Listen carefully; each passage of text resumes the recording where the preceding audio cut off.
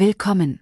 In diesem Video zeigen wir eine Strategie für das Intraday-Trading auf den S&P 500 Futures, die aber generell auch für andere Instrumente relevant sein wird. Die Strategie ist sehr einfach und so klar wie möglich. Dafür benötigen wir ein einfaches Clusterchart mit Volume-Clustern und auch mit richtig konfigurierten Volume-Limits. Wir haben bereits Volumenlimits konfiguriert getrennt für die American Session und getrennt für die europäische und asiatische Trading Session. Trading ist vor allem für den vorbörslichen Markt relevant, also für die europäische Session. Kurz gesagt, was wir für das Trading brauchen, außer den Volumen. Wir nehmen die Schlussvolumen der amerikanischen Session. Wie wir wissen, haben wir die größten Volumen am Ende der amerikanischen Session und meistens handelt es sich um eine solche Ansammlung von Volumen mit entsprechend angepasster Filterung.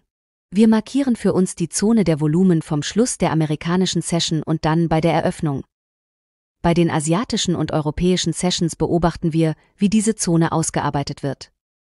Wir warten auf einen Retest, warten auf eine Konsolidierung und warten darauf, dass neue Volumen in dieser Zone erscheinen. Ich habe zusätzlich die VWAP-Linie mit Abweichungen eingestellt. Jetzt zeige ich meine VWAP-Einstellungen. Eine feste Abweichung von 16 Pips. Dies ist weniger ein Signal als ein Indikator dafür, wo sich der Preis befindet. Das heißt, in der Regel ist es eine Kaufzone, wenn wir über die VWAP-Linie gehen.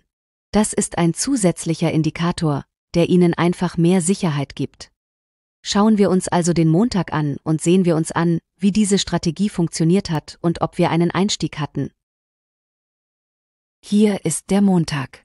Wir nehmen das Volumen des Schlusskurses vom Freitag. Wir markieren die Zone und sehen, wie wir in diesem Moment gearbeitet haben. Wir können sehen, dass wir zu Beginn des asiatischen und des europäischen Marktes diese Zone gehalten haben, aber wir hatten kein Volumen. Die Volumen wurden nicht herausgeschlagen, und als der S&P das Level durchbrach, tauchten hier einige Volumen auf, aber es wäre falsch, in diesem Moment gegen diese Ansammlung von Volumen zu scherten. Und weiter auf der amerikanischen Session wird diese Zone ausgearbeitet. Meistens werden Trades in der europäischen Session getätigt, nicht in der amerikanischen Session. In der amerikanischen Sitzung gibt es eine andere Volatilität, dort treten andere Volumina auf, aber dennoch sind diese Niveaus relevant und im Prinzip reichen die Schlusskurse aus, um zwei bis drei Trades pro Woche zu machen. Am nächsten Montag sehen wir, dass die Volumen ungefähr an der gleichen Stelle ausgeschlagen werden und das Level im Prinzip hier bleibt. Dieses Niveau nehmen wir heraus. Dieses Preisniveau ist jetzt doppelt stark, weil es vom Freitag letzter Woche und vom Montag stammt. Wir brechen dieses Level bei der Eröffnung der europäischen Session. Dann brechen wir das Volumen, wir haben sie an verschiedenen Stellen, so dass es nicht klar ist, in welche Richtung die Bewegung wahrscheinlich gehen wird. Dann machen wir einen Retest auf dem Rückzug und klopfen wieder Volumen unter dieser Ansammlung von Volumen aus, klopfen frisches Volumen aus und bleiben für drei 5 Minuten Bars stehen. Das sind 15 Minuten. Wir bleiben stehen, beraten uns und gehen nach unten. Das ist ein großartiger Einstiegspunkt und eine großartige Bewegung von einem halben Prozent. Und das alles auf der VWAP-Linie. Nächster Tag. Wir markieren die Zone und beobachten. Wir brechen die VWAP-Linie wieder nach unten und durchbrechen die Tiefststände der vorherigen Session. In dem Moment brechen wir wieder das Volumen aus und konsolidieren unter diesem frischen Volumen. Wir stehen, wir stehen für eine lange Zeit, 10 Bars, das ist fast eine Stunde. Und dann geben wir eine gute Abwärtsbewegung, dann Retest.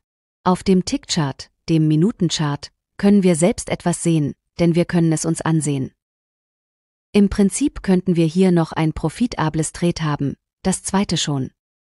Machen wir weiter. Also, das Volumen hat sich bei der nächsten Session nicht ausgezahlt. Im Grundsatz können wir das Volumen der vorherigen Session nehmen und sehen, was passiert ist. In der europäischen Session gab es nichts. Und im Grunde genommen war es auch in der amerikanischen Session nicht so ruhig. Wer den Minutenchart, Tickcharts verwendet, kann auch den blauen Moment beobachten.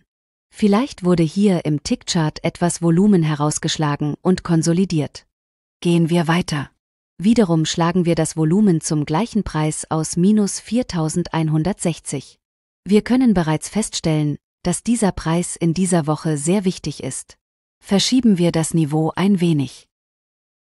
Dieses Niveau wird entfernt werden. Das Niveau wurde auf der asiatischen Sitzung geschrieben. Das ist Freitag, das ist heute. Dann machen wir einen Retest. Hier gab es keine Volumina. Wir haben das Preislevel nach oben durchbrochen. Dann brachen wir nach unten aus, ein falscher Ausbruch, und gingen nach oben. Am Freitag hatten wir nichts, also hatten wir im Grunde zwei Trades in einer Woche. Schauen wir uns noch einmal an, was wir hatten. Es war ein Short Trade, es war am Dienstag beim Retest, beim Volumen. Und wir hatten ein Trade am Mittwoch, es war nach dem Bibisi-Volumen und Konsolidierung unter diesem Volumen. Die Strategie ist sehr ruhig, sehr einfach.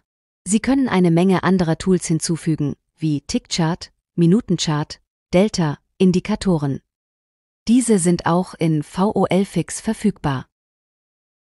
Wir werden wahrscheinlich ein Video über Indikatoren machen, wie man sie verwenden kann, wie man sie zu einigen einfachen Dingen im Trading hinzufügen kann. Um zusammenzufassen, was wir sagen können, hier ist eine einfache, konservative Strategie, die sicher gehandelt werden kann. Sie können sie um einige kompliziertere Dinge ergänzen und die Anzahl der Trades erhöhen. Wenn Sie Fragen haben, können Sie sich an unseren technischen Support wenden. Wir danken Ihnen für Ihre Aufmerksamkeit und wünschen Ihnen einen schönen Tag.